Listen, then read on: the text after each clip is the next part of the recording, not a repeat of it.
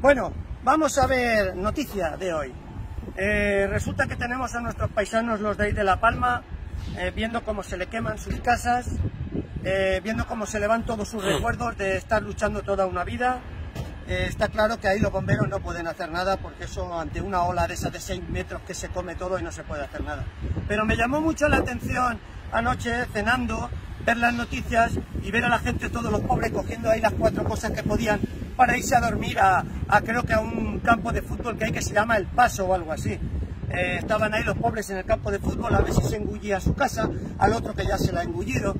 Lástima de, gente. Pero ahora pregunto yo, hace un poquito ante la oleada de cayucos y de, pateras que estuvieron llegando a Gran Canaria, eh, miles y miles de personas, el Ministerio de Seguridad Social y de Migración resulta que los metimos en hoteles de cuatro, de cinco estrellas, en, en, casas rurales, en apartamentos. Creo que hasta, si no estoy equivocado, se les dio un teléfono de última generación.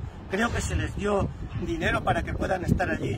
Y, la pregunta mía es, ¿qué pasa? ¿Que en La Palma no hay hoteles? ¿No podemos llevar a esta pobre gente que se está quedando sin sus casas a dormir a un hotel, a una casa rural, a un hostal? ¿No hay en La Palma hoteles?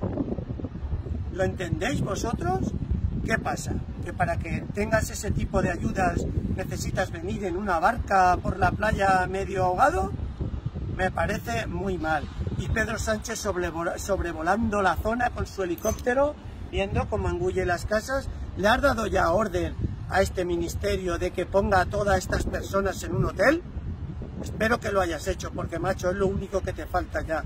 Porque desde que llegaste tú al gobierno nos va a caer todo. Todo, todo. Ya salen hasta los volcanes. Pero por lo menos trata a la gente como personas. Solamente es eso.